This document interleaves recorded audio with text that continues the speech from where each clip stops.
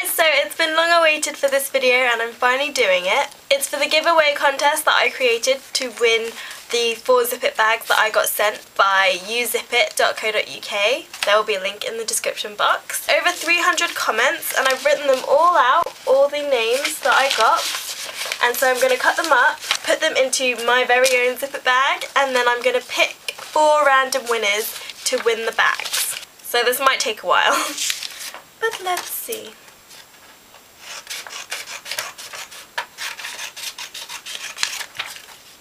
Maybe I should just skip this bit. Okay, so after about half an hour of cutting and folding, I finally got all the entries for the Zip It bag into my bag.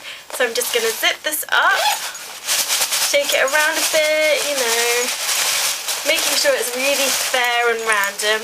Now loads of people have been asking me why don't I use random.org and that's because I don't want to and I want to be a little bit more original. I will tell you this, I probably won't be writing out any more names ever again. Okay, so I'm just going to mix it up a bit and then I'm going to pick four random names. So the first one is Polka Dot Cupcake 4289. Here is your name that I've written out. So please message me your address and the bag that you would like mixing it around again. This is the second one. Cherry loves clothes, well done to you. You are the second winner. Just mixing around again. And this one is Red Roses 823. You are the third winner. Congratulations. And then little fourth winner, one more mix around, and I've got one. The name is Abby XXX Tabby.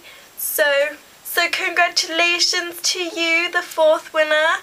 So if you four could YouTube message me with your address and list down the order of bags that you want and I shall try and get you your first preference bag. So thanks for everyone who entered and I hopefully will be able to do more giveaways in the future. So yep, that's it and I shall see you soon.